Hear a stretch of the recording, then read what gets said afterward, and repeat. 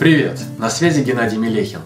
У тебя, наверное, бывало такое, что когда-то тебе приходила какая-то идея, новая мысль, да, что нужно что-то сделать, реализовать. Возможно, это даже вдохновение можно назвать.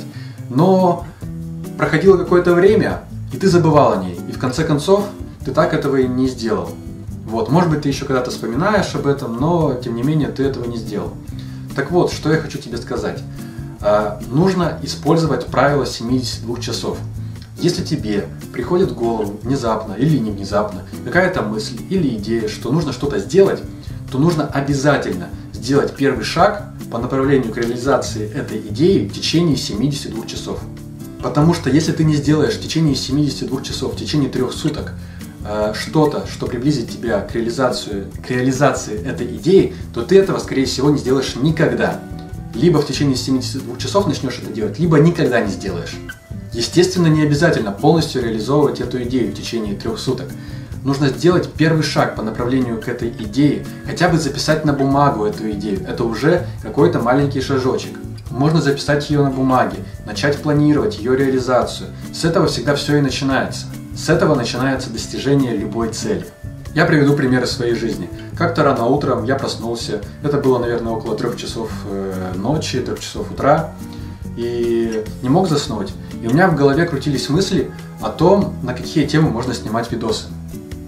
Вот, они крутились, крутились, крутились, крутились. И в конце концов я встал и стал записывать эти темы.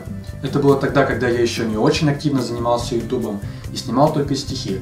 В общем, я встал, включил компьютер и стал записывать эти идеи, э, темы для видео. Я записал больше ста тем.